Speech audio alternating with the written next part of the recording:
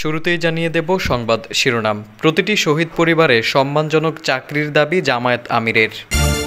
জানাব গোপন বৈঠকে খালেদা জিয়াকে হত্যার পরিকল্পনা, শেখ হাসিনার নামে মামলা। জানাব আগামী বাংলাদেশ গড়বে ছাত্র শিবির।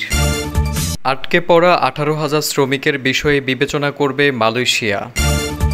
প্রতিটি শহীদ পরিবারের সদস্যদের জন্য সম্মানজনক চাকরি দেওয়ার দাবি জানিয়েছেন জামায়াত ইসলামের আমির ডাক্তার শফিকুর রহমান।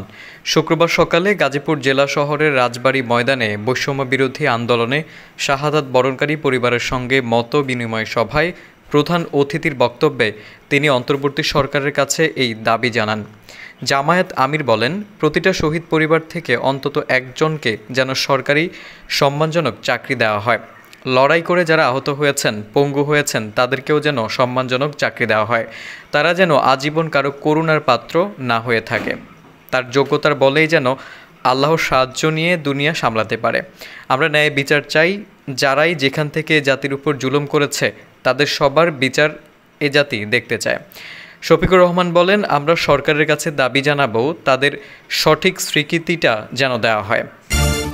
দুই হাজার তেরো সালে বিএনপি ঘোষিত মার্চ ফর ডেমোক্রেসি কর্মসূচিতে অংশ নিতে বিএনপি চেয়ারপারসন খালেদা জিয়াকে বাধা দেওয়ার অভিযোগে সাবেক প্রধানমন্ত্রী শেখ হাসিনা সহ তিনশো জনের বিরুদ্ধে মামলা করা হয়েছে। শুক্রবার সাবেক ছাত্রদল নেতা শরীফুল ইসলাম শাওন বাদী হয়ে গুলশান থানায় এ মামলা করেন। বিএনপি চেয়ারপারসনের মিডিয়া উইংয়ের সদস্য শামসুদ্দিন দিদার মামলাটির বিষয়টি নিশ্চিত করেছেন। মামলার এজাহারে আওয়ামী লীগ সভাপতি শেখ হাসিনাকে এক নম্বর এবং দলের সাধারণ সম্পাদক ওবায়দুল কাদেরকে দুই নম্বর আসামি করা হয়েছে। এছাড়া এই মামলার উল্লেখযোগ্য আসামিদের মধ্যে রয়েছেন সাবেক IGP A K M Shahidul Haque, সাবেক ডিএমপি কমিশনার আসাদুজ্জামান মিয়া ও সাবেক এসবি প্রধান মনিরুল ইসলাম। আগামী বাংলাদেশ গড়বে বাংলাদেশ ইসলামী ছাত্র শিবির। এমন মন্তব্য করেছেন সংগঠনটির সাবেক কেন্দ্রীয় সভাপতি ও বাংলাদেশ জামায়াত ইসলামী ঢাকা মহানগরী উত্তর শাখার সেক্রেটারি ডক্টর রেজাউল করিম। শুক্রবার সকালে রাজধানীর পল্লবীর দুই নং ওয়ার্ড কমিউনিটি সেন্টারের অডিটোরিয়ামে ছাত্র শিবিরের ঢাকা মহানগর পশ্চিম শাখা কর্মীদের কর্মী সমাবেশে প্রধান বক্তা হিসেবে এই মন্তব্য করেন তিনি। শিবিরের সাবেক এই সভাপতি বলেন, আগামী বাংলাদেশ গড়বে এই ছাত্র শিবির। দেশ রাষ্ট্র সংস্কার হতে পারে এই কর্মী ভাইদের হাত ধরে।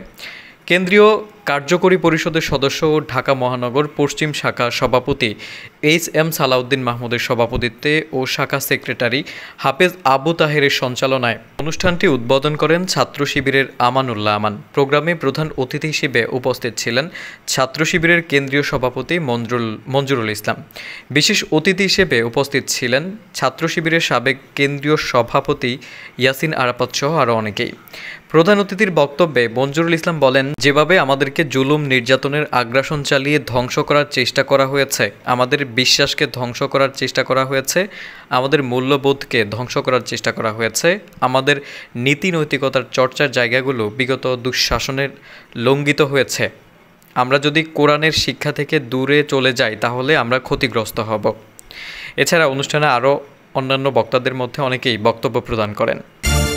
টিকিট জটিলতার কারণে মালয়েশিয়ায় যেতে না পারা আঠারো হাজার শ্রমিককে সব সহায়তা দেওয়া হবে বলে জানিয়েছেন ঢাকা সফররত দেশটির প্রধানমন্ত্রী আনোয়ার ইব্রাহিম। শুক্রবার বিকেলে হোটেলে এক সংবাদ সম্মেলনে আনোয়ার ইব্রাহিম জানান, ডক্টর ইউনুসের নেতৃত্বের প্রতি আমার পূর্ণ আস্থা রয়েছে। আমি বিশ্বাস করি বাংলাদেশ আরও এগিয়ে যাবে এবং আমরা সর্বাত্মক সহযোগিতা করব। বাংলাদেশি শ্রমিকদের বিষয়ে তিনি বলেন, মালয়েশিয়া শ্রম বাজারে প্রথম পর্যায়ে আঠারো হাজার বাংলাদেশি কর্মী নিয়োগ দেওয়া হবে। সংবাদ সম্মেলনে ডক্টর ইউনুস বলেন, আমার পুরনো বন্ধু এবং বাংলাদেশের পুরনো বন্ধুর আগমনে আমি অত্যন্ত আনন্দিত। আমাদের দায়িত্ব গ্রহণের পর এটি প্রথম কোনো সরকার প্রধানের বাংলাদেশ সফর। তিনি আরও বলেন, আমরা, আমাদের দ্বিপাক্ষিক সম্পর্ক আরও এগিয়ে নেওয়ার বিষয়ে সম্মত হয়েছে, যেখানে তারুণ্য শক্তি ব্যবহার করে সামনে এগোনোর বিষয়ে একমত হয়েছে। অর্থনৈতিক, সাংস্কৃতিক এবং রোহিঙ্গা ইস্যুতে আলোচনা হয়েছে, যাতে সম্পর্ককে নতুন উচ্চতায় নিয়ে যাওয়া যায়। চতুর্থ ফ্রি ট্রেড এগ্রিমেন্ট নিয়ে আলোচনা হয়েছে, উল্লেখ করে ডক্টর ইউনুস বলেন, বাণিজ্য ও বিনিয়োগ, শিক্ষা, প্রযুক্তি, মানব সম্পদ উন্নয়ন, জনশক্তি রপ্তানি, যোগাযোগ অবকাঠামো উন্নয়ন, প্রতিরক্ষা সহযোগিতা সহ অন্যান্য পারিপার্শ্বিক স্বার্থ সংশ্লিষ্ট বিষয়ে আলোচনা হয়েছে। এছাড়া আসিয়ান জোটে রোহিঙ্গা প্রত্যাবর্তন প্রত্যাবাসনের বিষয়ে মালয়েশিয়ার সক্রিয় সহযোগিতা কামনা করেছেন ডক্টর ইউনুস। এর আগে দুপুর দুইটা পনেরো মিনিটে হজরত শাহজালাল বিমানবন্দরে পৌঁছান।